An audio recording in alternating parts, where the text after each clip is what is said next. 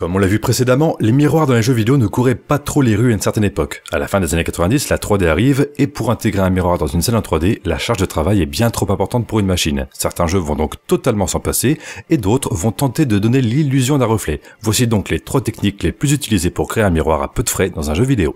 Numéro 1, la technique du copier-coller. Dans Mario 64, sorti en 1996, les miroirs n'en sont pas. Dans le château, par exemple, plutôt que de créer une zone qui est censée réfléchir tout ce qu'il a devant elle et qui aurait mis la Nintendo 64 à genoux, la pièce du château a tout simplement été copiée-collée à l'envers de l'autre côté, avec un mur invisible entre les deux. De cette manière, le joueur ne peut pas passer dans l'autre pièce, qui joue l'illusion du reflet. Et pour Mario lui-même, pas de reflet non plus, face au faux miroir, un deuxième Mario apparaît et est contrôlé par le joueur, à la différence que ses commandes sont inversées. Dans Mario 64, vous pouvez donc contrôler deux Mario différents dont un qui est enfermé dans un miroir. Même chose dans Deus Ex, certains reflets comme ceux que l'on peut voir au sol sont obtenus en dupliquant la pièce et en la mettant à l'envers sur un sol transparent. Numéro 2, la technique de la deuxième caméra. Pour calculer et afficher une scène en 3D classique, en théorie il faut trois éléments. Un environnement 3D, jusque-là rien d'étonnant, une caméra, et entre la caméra et la scène, un plan en 2D qu'on appelle parfois matrice de projection, qui va représenter l'écran du joueur et agir comme une sorte de calque. Ce calque va alors s'imprégner de la scène, un peu comme la pellicule d'une caméra, et c'est ce qui va permettre d'avoir une image plane que l'on peut afficher sur un écran. Le champ de vision de la caméra va donc dépendre de sa distance et de son angle par rapport à ce plan. Pour créer un miroir, beaucoup de jeux vont donc utiliser une deuxième caméra placée au niveau du miroir avec une deuxième matrice de projection. Elle va permettre de filmer et d'afficher la scène sous un deuxième angle au même moment. Comme un miroir donc. Même si l'idée est bonne, c'est pas véritablement un miroir, puisqu'il n'y a pas de reflet à proprement parler. C'est un peu comme utiliser son téléphone en mode selfie. On se voit dedans, ok d'accord, hein, mais ça transforme pas le téléphone en miroir. Cette technique donne donc de très bons résultats, mais elle est également source de problèmes. Elle peut occasionner des bugs d'affichage en tout genre, tout en demandant plus de ressources à la machine. C'est pourquoi, pour éviter les bugs et de mettre KO l'ordinateur, on va surtout retrouver cette technique dans des petits espaces.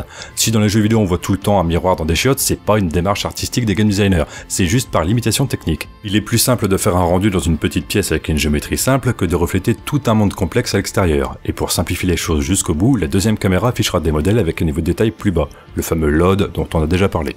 Pour résumer, les caméras qui imitent un miroir sont presque toujours utilisées dans des espaces clos avec une géométrie faible et utilisent parfois des modèles 3D simplifiés, et pour couronner le tout, la fameuse matrice de projection de ces miroirs utilise parfois une résolution plus faible, ce qui donne souvent l'impression d'avoir un effet flou et ou tout pixelisé. Troisième et dernière technique, la technique de l'environnement mapping l'une des techniques la moins coûteuse et la plus employée. À la base, elle est surtout utile pour simuler des reflets, comme ceux qu'on retrouve sur les carrosseries dans les jeux de voiture, ou encore les légers reflets qu'on peut avoir sur les vitres d'un immeuble dans un jeu en monde ouvert. Pour éviter de se retrouver avec des miroirs opaques sans pour autant avoir à refléter réellement le monde, certains game designers ont coupé la poire en deux. Dans Soldier of Fortune par exemple, on voit très clairement que le miroir ne sert à rien, mais une sorte de reflet est simulé. L'effet est simple, on a tout d'abord notre miroir avec sa texture fixe de miroir bleu un peu moche, et par-dessus une texture plus claire de reflet qui va bouger selon la position de la caméra. Et eh bien sur le même principe, on va avoir l'environnement mapping. L'environnement map, c'est une texture qui va représenter l'environnement, tout simplement. Dans une pièce, au centre de celle-ci, on va créer ce qu'on appelle un environnement de map en prenant en quelque sorte des photos dans tous les sens, généralement en utilisant un cube. Et donc là, on pourra aussi parler de cube mapping. La caméra va prendre différentes photos, en haut, en bas, à gauche, à droite, euh, devant, derrière, hein. et grâce à ces différentes prises de vue, on va avoir une texture qui représente toute la salle, un peu comme la fonction panoramique 360 degrés d'un appareil photo, sauf qu'en plus on a le plafond et le sol. On peut comparer ça à Google Street View si on préfère. Toutes les photos sont compilées ensemble dans un cube pour qu'on puisse avoir une vue de tout l'environnement. Cette texture, l'environnement de map donc, est ensuite projetée directement sur le miroir et suivant la position de la caméra, on voit différentes zones de l'environnement de map. Donc l'environnement de map c'est le nom de la texture panoramique, si on peut appeler ça comme ça, et l'environnement mapping c'est la technique qui permet de créer et d'utiliser cette texture. D'ailleurs pour la création de l'environnement de map, il faut savoir que c'est soit un mec ou une fille qui s'occupe de le créer avec ses petites mains, soit le moteur du jeu qui le fait automatiquement.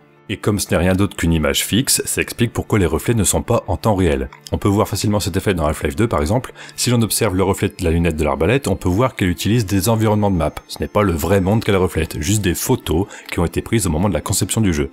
Donc si le décor change autour de nous, le reflet lui ne va pas bouger d'un poil de cul. Et si on regarde attentivement, on peut même voir les changements d'environnement de map entre le moment où on est dehors et où on rentre dans un bâtiment.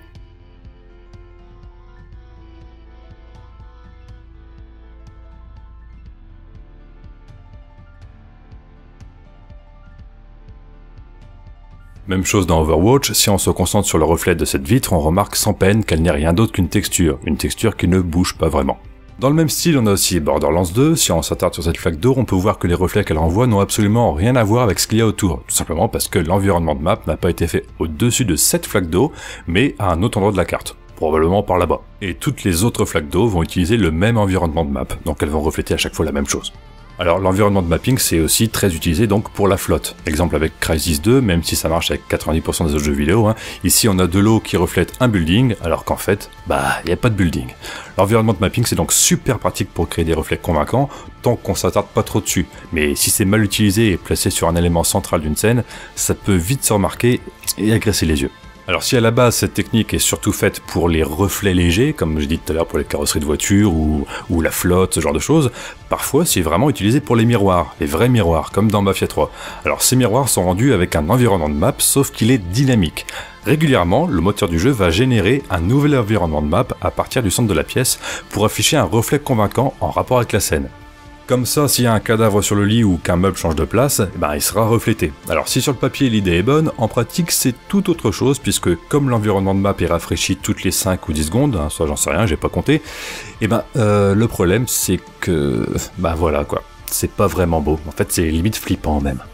Voilà, donc dans Mafia 3, les miroirs sont bizarres bah parce que euh, forcément l'environnement de map est dynamique, mais il est rafraîchi toutes les 5 ou 10 secondes. Donc bah, toutes les 5 ou 10 secondes, on a une nouvelle image, un nouveau reflet qui apparaît. Voilà, voilà, j'espère que cette euh, vidéo t'aura intéressé. Je te rappelle que je suis actuellement sans emploi, alors si tu veux m'aider à manger autre chose que des tomates concombres, tu peux me laisser un pourboire sur Tipeee ou parler de ma chaîne à ta voisine qui a des gros seins, ou même les deux. Je te fais des gros bisous et je te dis bon jeu, à plus.